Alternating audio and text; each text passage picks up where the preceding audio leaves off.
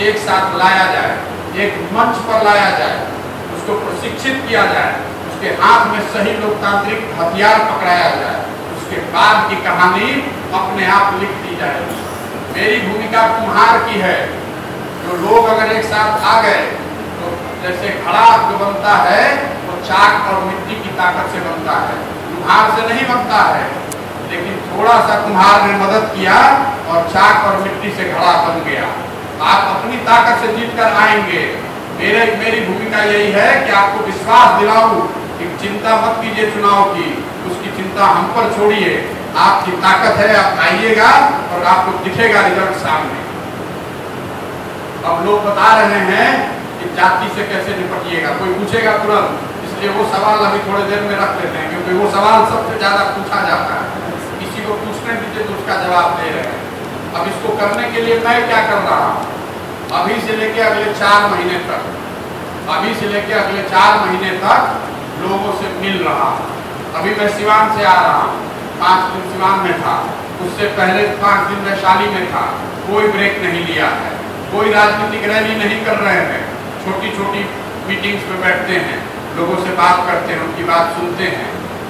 मैंने पाँच मई को एक प्रेस कॉन्फ्रेंस किया था पटना में।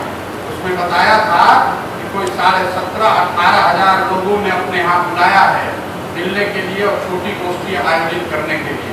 यहाँ पर लोग बैठे हुए हैं। बागी जी ने एक गोष्ठी आयोजित किया था, उनके घर गए थे। ऐसे बहुत सारे लोग हैं। ऐसे और बहुत हैं ये सामने दिख रहे हैं इनका एग्ज़ाम्पल दे रहा हूँ। लोगों ने अपने यहाँ बुलाया है, उनके यहाँ जाते हैं मीटिंग ऑर्गेनाइज करने।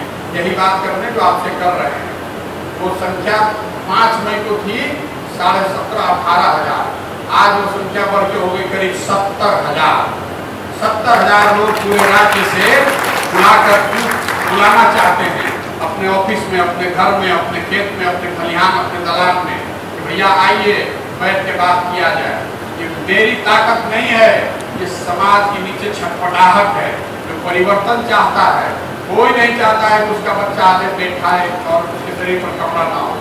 कोई नहीं चाहता है कि उसके गाँव में, उसके शहर में पढ़ने की सुविधा ना हो, या कोई घर में बीमार हो जाए तो एक मिनट में पेड़, एक घंटे में पेड़ को आप काट सकते हैं। लेकिन किसी पौधे को अगर पेड़ बनाना है तो उसकी एक प्रक्रिया है। अगर ज़्यादा खाद पानी डाल दीजिएगा तेज़ी से बढ़ाने के चक्कर में तो जल जाएगा। मेरी एक अपनी समझ है कि बिहार में क्या होना चाहिए। आपकी भी एक समझ हो सकती है। यहाँ बैठे हर व्यक्ति की समझ हो सकती है। लेकिन जब तक आप बिहार के लोगों से जाकर मिल न लें उनकी बात सुन और समझ न लें तो कैसे दल बनाकर एक पहले से एक हज़ार दल एक दल मैं भी बना दूँगा, उसमें क्या फ़र्क पड़ जाएगा? दूसरी एक और बात समझ मैं किसी के साथ गाली गलौज नहीं करना चाह रहा। मैंने ये कहा कि लालू जी का जो दावा है, मैं मान रहा हूँ, उसके लिए उनका नमन कर रहा हूँ। जो नीतीश जी का दावा है, वो भी मैं मानने के लिए तैयार हूँ। लेकिन इससे स्थिति सुधर नहीं रही है। तो अकबर बिरबल वाली कहानी सुने हैं ना? लाइन को बिना छुए हुए उसको छोटा करना है तो सामने बड़ी लकीर खींचनी पड़ेगी। किसी को गाली गलौज देने से फिर तो हम भी वही कर रहे होंगे जो दूसरे नेता और राजनेता और दूसरी पार्टियाँ कर रही हैं। आपकी चिंता स्वाभाविक है कि जल्दी होना चाहिए। साहब, एक दिन भी ब्रेक नहीं लेंगे। लेकिन एक बार मिल लेने दीजिए लोगों से कि क्या होना चाहिए। एक बार समझ लेने दीजिए, वरना जैसे ही थोड़ी सफलता मिलेगी तो फिर वही लोग हमारे भी ट्रेन में बैठ जाएँगे जो पहले से बैठे हुए यानी चौदह में मोदी जी की लहर थी 2014 में मोदी जी की लहर थी। बड़े बड़े सुरमा बड़े बड़े दल बह गए उसमें। जो विश्लेषक है उससे आपको पूछना चाहिए कि लहर तो थी, ये पता है। ये बताओ कि लहर बनी कैसे? बता नहीं पाएगा। लहर बनाने में समय लगता है, पसीना बहाना पड़ता है। आपके हमारे प्रयास से लहर बनेगा। एक बार लहर बन गया तो कोई सामने टिकने वाला नहीं है जनता के सामने। लिख कर रखिए हड़बड़ी करने से गलत हो जाएगा। एक डेढ़ साल लोगों से मिलने में कोई दिक्कत नहीं। अभी सरकार, चुनी हुई सरकार है। उनको काम वो कर रहे हैं, उनको काम करने दीजिए। साढ़े तीन साल अभी है। काम उनको करने दीजिए दिक्कत क्या है?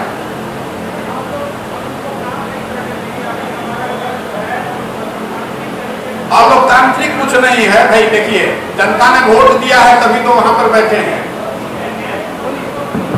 जी, मैं ये जोड़ना है, लेकिन जल्दी इससे ज़्यादा जल्दी नहीं कर सकते अब एक दिन में सात, आठ किलोमीटर से ज़्यादा आप नहीं चल सकते पाँच, दस गाँव से ज़्यादा नहीं जा सकते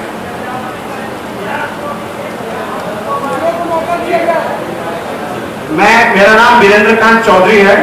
मैं पटना उच्च न्यायालय में अधिवक्ता हूँ और मिनिस्ट्री ऑफ़ रेलवे में छह साल मैं वरीय अधिवक्ता के रूप में भी रहा हूँ। मेरे हिसाब से पिछले दस साल में बिहार अकेले में साठ ऐसी परीक्षाएँ हुई जिसमें प्रश्न पत्र लीक हुए हैं। ये व्यवस्था की कमी है। यहाँ इतने लोग बैठे हुए हैं। हर आदमी से अगर मैं पूछूँगा, कोई कहेगा कि शिक्षा सुधरनी चाहिए, कोई बताएगा कि स्वास्थ्य अच्छा होना चाहिए, कोई लोग जब सही लोग चुनकर आएँगे दूसरा एक और पहलू, सुशासन या सुराज जो नाम है, किस चीज़ को सुशासन माना जाए? जब ये शब्द मेरे दिमाग में आया तो एक साल तक मैंने इस पर गहन चिंतन मनन कराया। है जिसको भी आप देश में बड़ा भारी इंटेलेक्चुअल मानते हैं, जो इस शब्द और इन विषयों के जानकार हैं, सबसे संपर्क किया, बात किया, ये पूछा कि सुशासन का डेफिनेशन क्या होना चाहिए? सुशासन को कैसे परिभाषित किया जाए? शिक्षा के आधार पर किया जाए, कि इकोनॉमिक आधार पर किया जाए, सामाजिक न्याय पर किया जाए या सांप्रदायिकता पर किया जाए। तो सारे चिंतन मनन के बाद जो बात निकल कर आई कि गांधी जी ने जो बताया, उस सोच से प्रेरित होकर, वो सरकार जो जनता की इच्छा और अपेक्षा के अनुसार चले, और उनके मानदंडों पर खरा उतरे, उसी को सुराज कर सकते हैं। इसीलिए इसका नाम दिया जन सुराज ये भाजपा सुराज और प्रशांत सुराज नहीं है। ये नीतीश सुराज और लालू सुराज नहीं है। क्योंकि जो भी सत्ता में बैठता है, वो यही बताता है कि जो मैं कर रहा हूँ, यही सुशासन है। जो भाजपा के समर्थक और नेता हैं, वो बताएँगे कि जो उनकी सरकार कर रही है, वही सुशासन है। इसी से राम राज्य आएगा।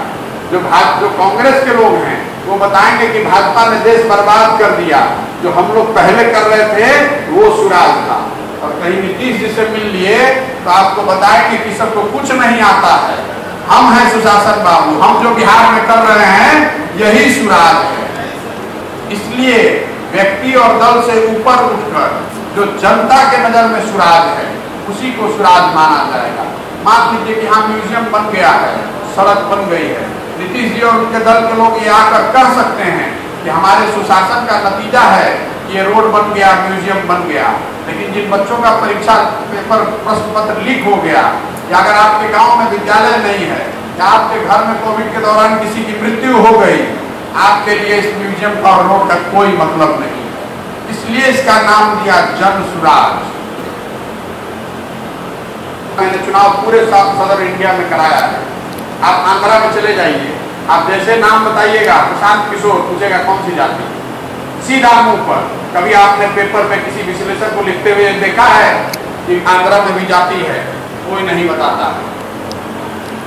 अब दूसरी बात पर आइए, चुनाव के नज़रिए से। आपकी बात है कि जाति पर ही वोट पड़ता है, आप हमको पता नहीं है, मान लीजिए। तो चौरासी में, उन्नीस सौ चौरासी में बिहार में किसको वोट पड़ा? कांग्रेस पार्टी को। कांग्रेस पूरे बिहार को जीत कर आई। आई थी ना तो उन्नीस में। राजीव गांधी जीत कर प्रधानमंत्री बने थे। आपसे पूछेंगे कि बिहार में कांग्रेस को वोट कैसे पड़ गया? आप बताइएगा कि इंदिरा गांधी के मृत्यु से उपजी हुई सहानुभूति के लहर में भैया सब जात पात का आदमी कांग्रेस को वोट दे दिया। बोलिएगा ना। इसको लिख के रखिए। फिर पूछेंगे 1989 में क्या हुआ? बीपी सिंह के नेतृत्व में पूरा बिहार में जनता दल को वोट पड़ गया। तो आप तुरंत बताइएगा अरे नहीं तो फोर्स का बहुत उस समय मुद्दा था। भ्रष्टाचार के नाम पर सारे लोगों ने जनता दल को वोट दे दिया। मान लिया बात को, इसको भी लिख लीजिए। फिर ऐसे पच्चीस एग्ज़ाम्पल दे सकता हूँ, लेकिन आपको तीन देके समझा रहा हूँ। फिर 2014 में आ जाइए। पूछेंगे कि जिस राज्य में मोदी जी की जाति का एक आदमी नहीं रहता है, भाजपा 2014 बिहार कैसे जीत गई? आप बताइएगा कि मोदी जी के नाम की लहर की भैया कुछ नहीं चला जात पाँच सौ लोग मिलकर वोट दे दिया मोदी जी के नाम पर। बोलिएगा ना, ये मेरा भविष्य का प्रोडिक्शन नहीं है, जो हुआ है वो आपको बता रहे हैं। ठीक है तो सुनिए, पहले पूरा कर ले, फिर सवाल पूछिए। ये क्या तीन घटना क्यों बता रहे हैं? पहली, एक घटना है और घटना से उपजी हुई सहानुभूति की लहर। दूसरा, एक मुद्दा है, भ्रष्टाचार। और उससे उपजी हुई लहर। और तीसरा एक व्यक्तित्व है जिससे प्रभावित होकर लोगों ने जात पात से ऊपर उठकर वोट किया। ये आपको क्या बताता है कि समाज में वो ताकत है कि अगर कोई व्यक्ति, अगर कोई मुद्दा, अगर कोई घटना लोगों को कन्विंस कर ले जाए, लोगों का उस पर विश्वास हो जाए तो समाज जातियों से ऊपर उठकर वोट करता है। करेगा नहीं। करके इसी बिहार में लोगों ने दिखाया यह है कि चुनाव में आप भी वैसे ही दिख रहे हैं जैसे हम दिख रहे हैं। तो जनता कहती है कि दोनों तो एक जैसा है, चलो अपने जाते वाले को दे देते हैं। है ना? तो दोनों जब एक ही जैसा दिखेगा तो स्वाभाविक है कि लोग जात वाले को वोट दे देंगे। और आप कहना है कि हमारी मदद कीजिए एक नई चीज़ बनाने में और लोग मदद करेंगे। समाज में काम कीजिए। समाज नेता बनाता है। दिक्कत ये है कि जितने यूथ है, जितने युवा लोग हैं आपको नेता बनने का रास्ता ही गलत मिल गया। आप किसी नेता के साथ चिपक जाते हैं, सोचते हैं कि इनका झंडा लेकर घूमे, भैया को पानी पिलाएँ, इनका जिंदाबाद, मुर्दाबाद करें, फिर कुछ दिन के बाद हमको ये जगह दे देंगे। अरे बेवकूफ़ है भैया कि अपना जगह छोड़कर आपको दे देंगे। कभी ऐसा हो सकता है? दस साल के बाद उसको लगता है जब आपका आकांक्षा बढ़ने लगा तो आपको सबसे पहले धक्का मार के बाहर करता है। तो फिर आप कहते हैं कि हम तो बड़ा ठग लिया, दस साल मेहनत कर रहे थे, इनके साथ लगे हुए थे, इन्होंने हमारी मदद नहीं की। अरे भाई, आप गलत ट्रेन पर चढ़ के जा रहे थे। देखिए, नेता जो है, वो समाज बनाता है। एक बार आप नेता बन गए तो कोई पॉलिटिकल पार्टी या नेता आपको चुनकर एक बड़ा प्लेटफॉर्म दे सकता है। कोई नेता और पार्टी किसी को नेता नहीं बना सकती है। टिकट किसको मिलता है? जिसको समाज में नेता, समाज में नेता माना हुआ है। नेता समाज बनाता है। कोई फॉर्मूला नहीं है। जिस समाज को आप रिप्रेजेंट करना चाहते हैं, उसके लिए कम से कम अवेलेबल होइए। हम आकर आपको पैसा नहीं दे रहे हैं। आपकी समस्या नहीं सुलझा रहे हैं।